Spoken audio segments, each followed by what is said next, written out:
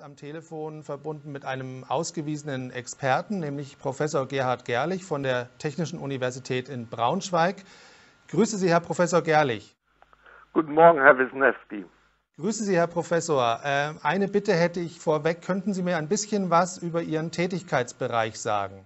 Ja, ich bin Universitätsprofessor für das Fach Theoretische Physik in Forschung und Lehre seit 1978 an der TU Braunschweig. Und theoretische Physik ist eben der Bereich der Naturbeschreibung, der eben mit mathematischen Mitteln und Methoden und Verfahren eben versucht, die Natur zu beschreiben. Wo ist denn da jetzt eigentlich so die Verbindung zu dieser sogenannten Klimaforschung mit der theoretischen Physik?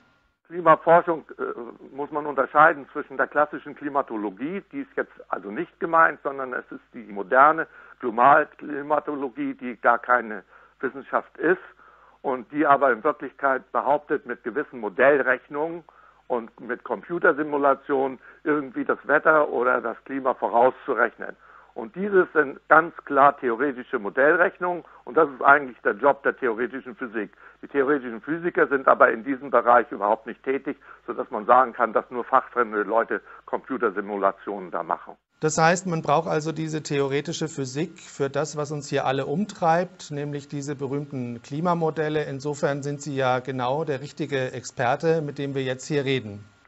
Ja, und ich kann dazu sagen, auch gleich die Kritik an diesen Klimamodellen, dass die äh, nicht nachvollziehbare Aussagen machen und äh, die nicht mal Fachkollegen überprüfen können und sowas nennt man normalerweise keine wissenschaftlichen Aussagen. Deshalb bestreite ich auch, dass es sich um eine ordentliche Wissenschaft handelt, die besser ist als die Astrologie oder zum Beispiel das Kaffeesatzlesen.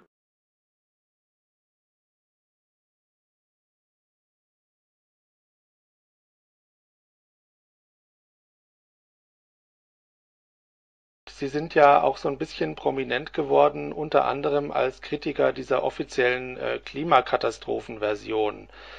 Ähm, was gefällt Ihnen daran eigentlich nicht? Ja, dass es eine professionelle Lüge ist. Inwiefern? Ja, das äh, jedem äh, naturwissenschaftlich Ausgebildeten äh, muss es klar sein, dass es diese, diesen Treibhauseffekt, diesen atmosphärischen Treibhauseffekt nicht gibt und trotzdem wird da eine Klimakatastrophe äh, abgeleitet, indem man eine Beziehung herstellt zwischen dem äh, Kohlendioxidgehalt der Luft und der Temper mittleren Erdtemperatur, die man weder messen noch berechnen kann. Und der, auch der Kohlendioxidgehalt der Luft ist so klein, dass er auf die messbaren thermodynamischen Eigenschaften eines äh, Gasbereiches keine, keine Auswirkung hat. Man kann es also alles nie messen. Und der ganze Treibhauseffekt ist, beruht auf schlechten Rechnungen, die nicht mit äh, Messungen abgedeckt sind. Jetzt wird ja hier immer mit einer mittleren Erdtemperatur äh, gearbeitet, äh, so als könnte man diese mittlere Erdtemperatur feststellen. Diese mittlere Erdtemperatur ist ja sozusagen schon die Voraussetzung für alles Weitere. Äh, wie kommt die eigentlich zustande und äh, wird die eigentlich überhaupt seriös ermittelt? Ja, das ist meine Hauptkritik. Da 70 Prozent der Erdoberfläche sind die Ozeane und auf denen gibt es ganz wenige Wetterstationen gewisserweise. Auf dem Land, da gibt es eben auch Wetterstationen. Und das Gitter ist so groß, dass man da keine vernünftigen Mittelwerte eigentlich bestimmen kann. Und äh, deshalb ist diese Mittelwertstemperatur auch aus physikalischen Gründen ist es eigentlich keine echte Temperatur, die irgendeinen Aussagewert hat. Und man kann das auch erkennen, wenn man einen Wetterbericht hat, dann sieht man lauter verschiedene Temperaturen, sogar in Deutschland und keineswegs irgendeine Mittelwertstemperatur, die nämlich völlig aussagelos ist. Sie meinen, das Messraster für diese sogenannte Mitteltemperatur der Erde ist viel zu grob? Es ist viel zu groß überhaupt für vernünftige Aussagen und für die Modellrechnung ist es völlig ungeeignet, weil man da ganz kleinräumiges Raster braucht, was überhaupt nicht realisiert werden kann. Das würde ja bedeuten, also dass man schon äh, bei dieser Erdmitteltemperatur sich sozusagen oder bei dieser Erddurchschnittstemperatur im Bereich der Fantasie bewegt. Das ist auch meine Aussage. Jeder kann das auch kontrollieren. Das Druck, Hochdruck, Windgeschwindigkeit, alles Mögliche ist viel wichtiger für eine Wettervoraussage, die auch normalerweise nur kurzfristig und lokal einen Sinn hat und diese globalen, äh, das sind eben ausgedachte Zahlen, überhaupt keine Bedeutung haben.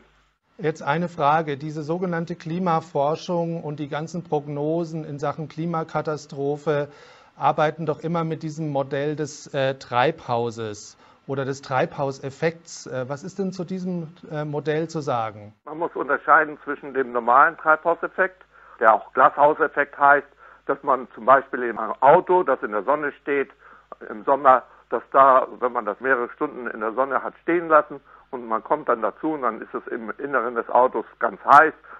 Und dieser Effekt wird üblicherweise äh, falsch erklärt, indem man da äh, behauptet, das liege an den Absorptionseigenschaften äh, der, der, Scheiben und in Wirklichkeit ist es nur die unterdrückte Konvektion beziehungsweise die unterdrückte Luftkühlung, äh, die man außerhalb des Autos hat. Also der Effekt ist also so zu erklären, dass man innerhalb des Autos höhere Temperatur hat als außerhalb des Autos. Das ist also dieser Effekt. Der atmosphärische Kohlendioxid-Treibhauseffekt wurde ursprünglich erklärt, dass er was ähnliches ist wie in einem Auto und dieses ist eben eine bewusste Lüge und die einfach falsch ist. Habe ich das richtig verstanden? Äh, das Treibhaus funktioniert nicht so, dass es die Wärmestrahlung in erster Linie festhält, sondern dass es die Luft festhält. Ist das richtig? Ja, das ist richtig. Das ist das normale Treibhaus. Außerhalb des Autos ist das nicht gegeben bei der normalen äh, Betrachtungsweise, wenn ich also die Atmosphäre mir angucke. Da gibt es keine solche eingesperrte Luft. Das würde also heißen, ähm, die Erde kann deshalb kein Treibhaus sein, weil sozusagen immer von der Klimaforschung, äh, die da lautet, je mehr CO2 wir in der Atmosphäre haben, umso wärmer wird es. Was sagen Sie dazu? Im Prinzip, wenn man physikalische Gesetzmäßigkeiten benutzt, ist wahrscheinlich der Effekt sogar umgekehrt. Und das ist nicht nur von mir aus gesagt, sondern es gibt äh, berühmte Kollegen, die das Gleiche sagen. Und wenn man jetzt etwas mehr CO2 hätte in der Atmosphäre, würde das nichts ausmachen? Ja, das würde sogar den Pflanzenwuchs äh, verbessern. Jetzt äh, wird ja immer so ein bisschen behauptet, Menschen, die beispielsweise wie Sie dieser ganzen Klimakatastrophe skeptisch gegenüberstehen, sind im Grunde genommen sowas wie Umweltfeinde. Was sagen Sie dazu? Ja, dagegen habe ich mich immer schon gewehrt weil ich mich um die Umwelt schon gekümmert hatte, als keiner davon öffentlich redete. Jetzt äh, gibt es ja häufig noch einen Vorwurf an solche Klimakritiker wie Sie, aber vielleicht auch an mich, äh, nämlich der, wir seien wahrscheinlich von der Ölindustrie gekauft. Was sagen Sie dazu? Das bedauere ich sehr stark, denn ich warte die ganze Zeit auf diese Millionen, die ich da bekommen soll. Und äh, leider ist das eher ein Zusatzgeschäft und man musste diese Diskussion eben neben seinem Beruf durchführen. Einfach weil diese ganze Klimadiskussion, das ist sowas wie Kaffeesatz lesen, das hat mit Wissenschaft nichts zu tun. Wenn man Ihnen jetzt so zuhört, Herr Professor Gerlich, dann hat man ja äh, das Gefühl, äh, diese ganze Klimakatastrophe könnte so eine Art Phantom sein. Ist das richtig? Es ist ein Mittel, äh, den ärmeren Leuten das Geld äh, aus der Tasche zu ziehen, das dann die Spekulanten und die Groß Firmen, also die Energiefirmen, dann abkassieren können, ohne dass man sie kritisieren darf. Ja, weil wir gerade von äh, der Industrie auch reden. Äh, was ich nicht verstehe, wie ist das überhaupt mit der Automobilindustrie? Also hier wird ja eigentlich äh, deren zentrales Produkt so ein bisschen verteufelt als ein Klimakiller. Und diese Industrie lässt sich das ja mehr oder weniger einfach so gefallen. Wie erklären Sie sich das? Das ist das, was mich am meisten äh, stört an dieser ganzen Diskussion als ich einstieg, das war 95 in diese Klimadiskussion, äh, da war jedem klar, dass das alles Unsinn ist. Und da waren auch Vertreter der Automobilindustrie da und äh, die haben sich also öffentlich sehr stark zurückgehalten. Und ich hatte dann auch Bekannte darunter und fragte sie, nein, wir wollen damit äh, nichts zu tun haben. Und äh, ich fragte mich immer, wieso sind die nicht klar auf der Seite der Kritiker? Aber das ist ganz einfach.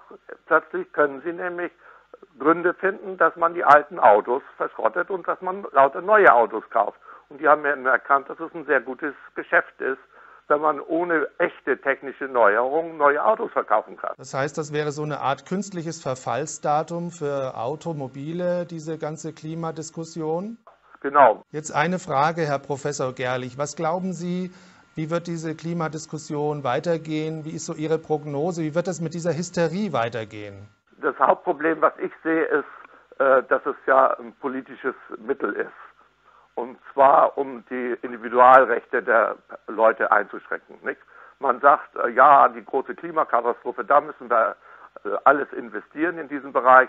Dann werden dadurch die Kriege, die stattfinden, werden verniedlicht. Die sind gar nicht so wichtig wie die größte Katastrophe, die, mit der der Menschheit jetzt zu tun haben wird. Und äh, auf die Weise äh, kommt es so, dass wir eben erhöhte Benzinpreise zahlen müssen und die letzten Endes immer wieder die, die einzelnen äh, Personen trifft. Und das ist eben diese Tendenz, die Individualrechte einfach einzuschränken. Und wenn wir da politisch nicht dagegen irgendwas unternehmen, können wir mit wissenschaftlichen Argumenten können wir da nicht kommen. Eine Frage, Herr Professor Gerlich, würde mich noch interessieren, und zwar, warum spielt die Wissenschaft da eigentlich mit? Was hat die davon? Ich würde mich dagegen wehren, dass die Wissenschaft mitmacht. Das sind bestimmte Wissenschaftler und die UNO hat das eingesetzt, dieses äh, Gremium, was finden sollte, dass CO2 eine Klimaänderung bewirkt und dass es von den Menschen ausgelöst ist. Und diesen Beweis haben sie versucht zu erbringen, indem eigentlich nur fachfremde Leute da jetzt tätig waren und dann Wahrscheinlichkeiten von Wahrscheinlichkeiten ausgesagt haben, die man überhaupt nicht äh, verifizieren kann. Und das ist letzten Endes völlig nicht wissenschaftlich, sondern politisch sind da diese Berichte erstanden vom IPCC. Wie ist denn das, wenn ich jetzt zum Beispiel Forschungsgelder beantrage für irgendein Forschungsvorhaben? Ist es dann tatsächlich so, dass diese Gelder leichter fließen, wenn ich äh, auf diese Klimadiskussion Bezug nehme? Ja, da haben Sie mir die Aussage vorweggenommen. Das ist genau der Grund. Und da hat auch ein Kollege hat gesagt, wenn er da irgendwelche Eichhörnchen untersuchen will, dann hat er Schwierigkeiten, den Forschungsantrag zu begründen. Aber wenn er reinschreibt, dass das klimarelevant ist, dann sprudelt das Geld sofort. Das war Herr Professor Gerhard Gerlich von der Technischen Universität äh, Braunschweig. Herzlichen Dank, Herr Professor Gerlich, und auf Wiedersehen. Auf Wiedersehen, Herr Wisniewski.